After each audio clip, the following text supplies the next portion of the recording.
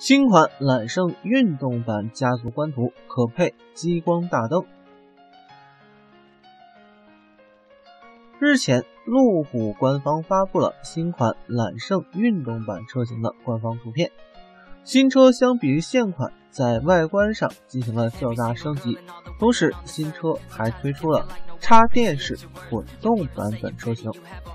外观来看，新车前脸部分变化较大，前保险杠的线条经过全新设计，下部进气口格栅开口尺寸更大，两侧雾灯罩的位置也加大了，并融入了前雷达，视觉效果攻击性十足。此外，新车前大灯也经过全新设计，LED 日间行车灯造型更加扁平化。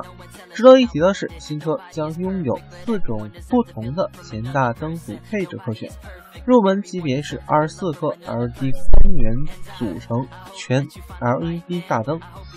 高级别五十二颗 LED 光源的矩阵式大灯，更高级别称之为由一百四十二颗独立 LED 光源组成，可实现多种不同照射方式。侧面来看，新车将继续保持与现款相同的设计线条，前。叶子板上的装饰口造型经过重新设计，相比于现款更加精致。新车尾部造型变化不大，尾灯组的内部结构发生了变化，全新的造型也为尾部增加了质感。